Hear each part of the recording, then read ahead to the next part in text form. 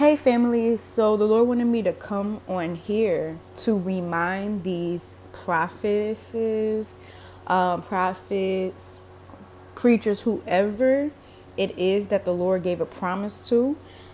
He wanted me to remind them about what it says in His Word because it's like they pick and choose what they want to obey, okay? So I heard them in the spirit saying, God, you promised like crying out to God saying, God, you promised, but we're supposed to keep our end as well.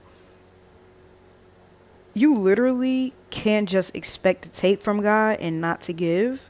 You can't expect that He's just going to bless you and you don't have some obligation. So they're blaming God right now.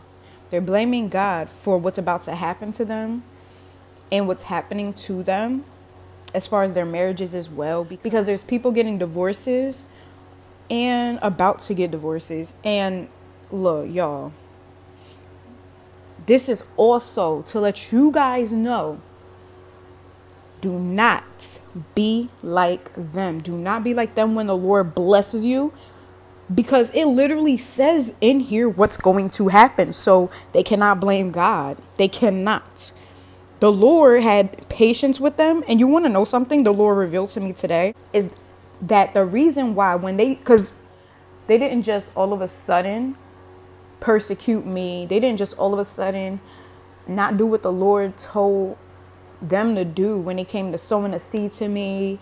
It's not just me. All right. These people have been doing this in their promised land for some time now. They've been drinking wine, using that as their way to celebrate. When the Lord says celebrate, He does not mean drink wine. He actually told us in the last days to be sober minded. And those who are, you know, getting drunk with wine and running around careless, that, you know, Jesus is going to come back like a thief in the night. They ain't going to know where to go, they ain't going to know what to do. They did not pay t- attention to they did not pay attention to what the Lord said in His Word. Okay? It's bad enough that they didn't preach the gospel of Jesus Christ because there's prophets on here that just prophesy. They don't teach Jesus Christ, they don't preach sin, they don't tell the truth, they don't expose the darkness. That's the whole point. That's the whole point. Why would you want people to just be excited about something? I just, I don't know. I don't understand it, but Y'all, oh wait, I forgot. They wanted seeds to be sown to them. That's why. What am I talking about? They used people. They got them all excited. They amped them up, hyped them up. They sold seeds. I mean, that's what it was for, duh. But we're going to go to Deuteronomy 28. This is why you can't blame God when he takes back what he gave you. Because in the word, it also says he gives and he takes away. So just as quickly as he can give it to you, he can take that right away. Okay. So I'm not going to read all of Deuteronomy 28, but I'm going to just summarize the beginning. So basically, in Deuteronomy 28, the Lord is telling you what will happen if you obey his commandments, you will be blessed when you go in, blessed when you go out. Your blessings will literally come on you, overtake you. You will be blessed in the city, in the field, the fruit of the body, the fruit of the ground, the fruit of your cattle, increase of your kind. Like literally, you're just blessed. literally, the Lord just saying everything you touch is going to be blessed. That's what He's saying. He's saying everything that you touch is going to be blessed, okay? And whoever curses you, the Lord is going to curse, right? But then we go down to Deuteronomy 28 and 15.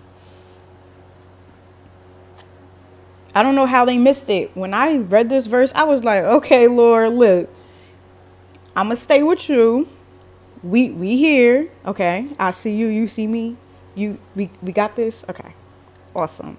I understand what you're saying. I'm not about to come against you. Like this is the thing, like you should fear the Lord they don't have a real fear of the Lord. Oh, that's what I, before I get into that, that's what I was going to say is that the reason the Lord allowed them to continually be blessed, even after they've, you know, sinned in the land, really, you know, they disobeyed Him. Um, they forsake the Lord thy God. He allowed this because He knew that would keep them on YouTube. He knew that that would keep them motivating and really because these people I was watching some of them not all of them but some of them I was watching right? He knew that that was going to motivate me. So really these people didn't really train me. Jesus really trained me because he was telling me not to do certain things that they were doing. So y'all hear me?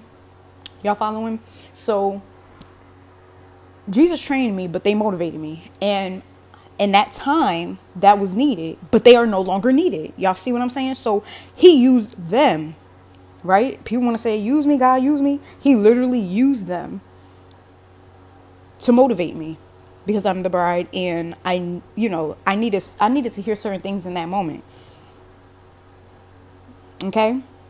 But y'all, now it's definitely not needed. I no longer need motivation and we're going to go to what happens when you forget the Lord and the promise.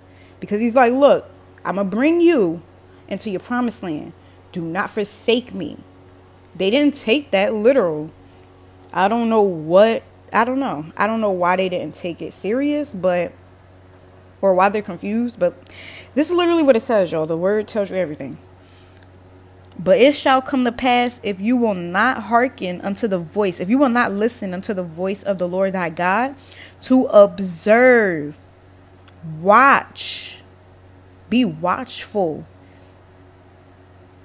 be obedient, be careful to do all his commandments and his statutes which I command thee this day, that all these curses shall come up on thee and overtake thee. So the opposite's gonna happen. If you if you disobey the Lord in a promise, if you don't listen to what he is saying, and he done gave you the promise, are you kidding me? Are you kidding him? Are you kidding us? Cursed shall thou be in the city, and cursed shall thou be in the field. Cursed shall be thy basket and thy store. Cursed shall be thy fruit of thy body and the fruit of thy land, the increase of thy kind, and the flocks of thy sheep. Cursed shall thou be when thou comest in. So cursed will you be when you come in, and cursed will you be when you go out. The Lord shall send upon you cursing, vexation, and rebuke in all that thou settest thine hand to. Everything you touch will be cursed. So the Lord is leading me to say this everybody that's under their prophetic ministry is cursed because they follow them and they don't even know what's going on, y'all. These people have groomed these Pharisees and Sadducees to the point where they don't even know what's going on right now, and y'all do. So they've been hearing these prophecies, they've been hearing a couple of verses from, you know, scripture, most of them from the Old Testament. Never really hear them quoting any scripture from the New Testament. But yeah, until you are destroyed and until you perish quickly because of the wickedness of thy doings, whereby thou hast forsaken me. The Lord shall make the pestilence cleave unto you. So, disease, it will fall on you. Now, you have opened yourself up to the enemy to the point where you can catch the diseases. You can catch the corona now at this point until he have consumed thee from off of the land whither you go is to possess it. So he saying these people have to leave this land before he blesses me, before he blesses you, before he brings us into the promised land. And they can go on and read that. They can go on and read that. Um, but I'm gonna get into a little bit of, you know, they thought I was okay. Lord help me. Leave me, leave me, leave me.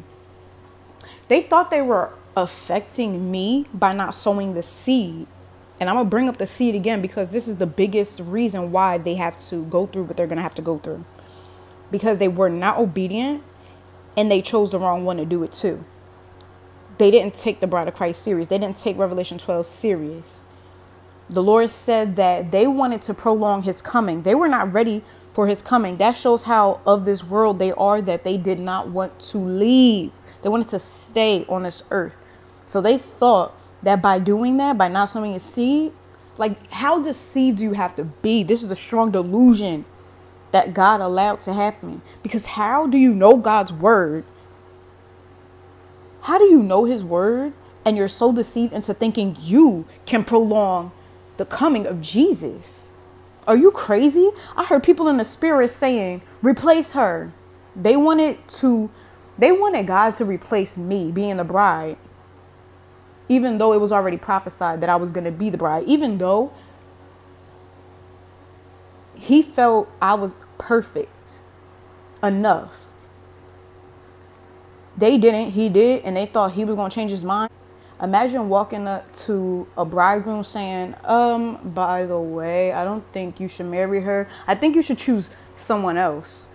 So y'all can persecute her too, so y'all can hate on her too. Because anybody that Jesus picked is going to be perfect. You're going to hate perfection. You're going to be jealous of that regardless. So it doesn't matter who he picks. The problem ain't me, the problem is you. Saith the Lord. The problem is you, saith the Lord. It doesn't matter who he chose. Because regardless, they were going to be perfect. And it's going to be me regardless. So I don't know what y'all thought, but absolutely not. Call yourself rebuking me. Y'all can't rebuke me. The Lord is literally allowing me to hear y'all rebuking me and says, rebuke them.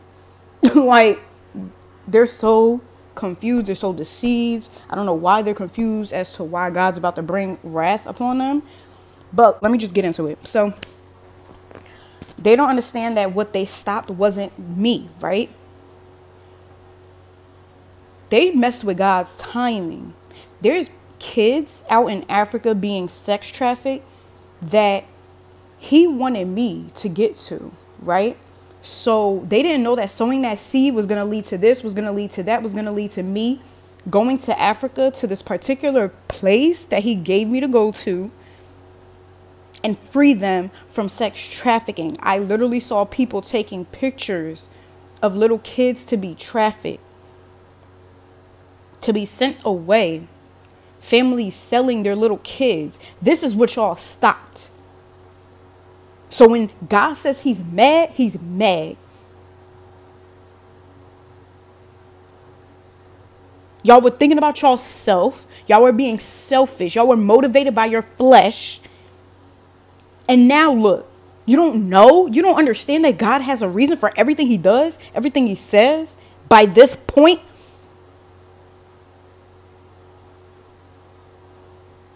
This is the body of Christ we talking about. This is lives we talking about. What are y'all doing? What are y'all doing? I don't see lives getting saved on your channel. I see testimonies about, oh, I got this job. Oh, I got this car. Oh, I got this. Oh, I... that's the fruit that y'all have. Material things. They got a job. Guess what? I know people that got a job without God. So you're not doing a thing.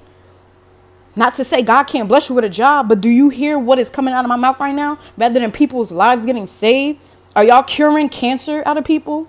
Are y'all laying are y'all laying hands on people? Setting people free? Are y'all delivering people from sin? No, you're not. This is why he's mad. Because y'all stopped real power, real authority, real dominion from doing what he wanted to get done. This is a global thing. And y'all thought God wasn't going to